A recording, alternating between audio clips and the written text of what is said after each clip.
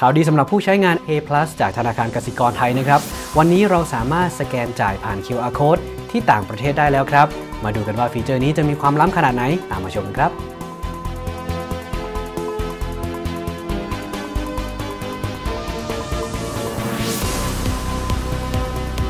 สำหรับวิธีการใช้งานก็ง่ายๆนะครับผม เพียงใช้ K Plus จากนั้นครับผมให้มองหาสัญลักษณ์ Union Pay ที่มี QR code สำหรับการสแกนจ่ายข้างๆนะครับหรือสัญลักษณ์ของหยุนฉานฟูที่เป็นไอคอนสีแดงๆนะครับผมก็จะสามารถสแกนจ่ายได้เลยนะครับตอนนี้ครอบคลุมกว่า 40 ประเทศทั่วโลก ซึ่งเป็นประเทศที่คนไทยนิยมไปท่องเที่ยวนะครับยกตัวอย่างเช่น อังกฤษ สิงคโปร์เกาหลี ญี่ปุ่น หรือแม้กระทั่งสหรัฐอเมริกานะครับผมโดยวิธีการใช้งานนะครับสามารถทำได้ 2 แบบดังนี้ครับ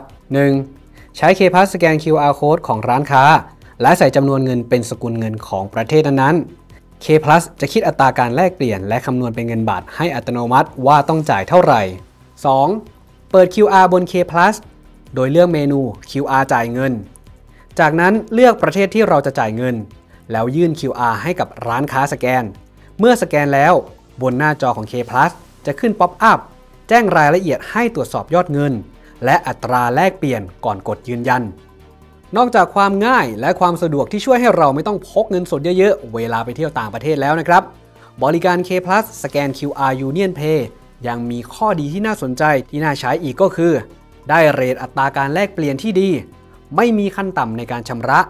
ฟรีค่าธรรมเนียม และยังสามารถใช้ได้สูงสุดถึง 1 0 0 0 0แบาทต่อวันครับ นอกจากนี้ธนาคารกสิกรไทยยังจัดโปรโมชั่นพิเศษ เพียงใช้ K Plus ในการสแกนจ่าย QR Union Pay ตั้งแต่ 500 บาทขึ้นไปต่อรายการ รับคะแนนสะสม K Point 100 คะแนน สูงสุดที่ 8,000 คะแนน ตลอดระยะเวลาโปรโมชั่น เริ่มตั้งแต่วันที่ 1 กรกฎาคม ไปจนถึงวันที่ 31 ตุลาคม 2565 นี้ครับ ทั้งง่ายสะดวกและยังได้เรทการแลกเปลี่ยนที่ดีนะครับผม ครั้งหน้าถ้าหากเดินทางไปต่างประเทศ อย่าลืมใช้ K Plus ในการสแกนจ่าย QR Union Play กันด้วยนะครับสำหรับข้อมูลเพิ่มเติมครับ สามารถรับชมได้ที่ลิงก์ใต้คลิปนี้ ไว้เดี๋ยวพบกันในรอบหน้าครับ ผมต้องไอ้มดขอตัวลาไปก่อน ขอบคุณและสวัสดีครับ